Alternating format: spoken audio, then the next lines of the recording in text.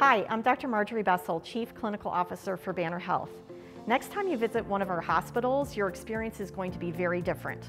That's because we are dedicated to relentlessly keeping you safe. I want to take just a moment to highlight some of the changes for you and our team members. The moment you walk through our doors, we hope to be able to recognize symptoms associated with COVID-19, like a high fever. We've installed infrared cameras at our hospital entrances to detect those signs, so our care teams can efficiently get you the appropriate medical care. You'll also notice all Banner employees and patients are masked. We ask everyone to don a mask when you come into our facilities when you are around others. Masks are provided at our mask and sanitizer stations at the entrance.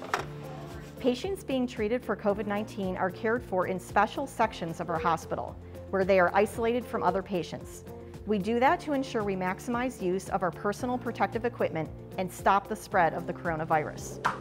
Our emergency rooms are also set up in two sections, one for patients being treated for COVID-19 and one for those without.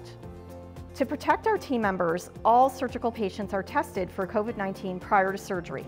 We also have a dedicated entrance for surgical patients so they can avoid lobbies and waiting areas where other people might be.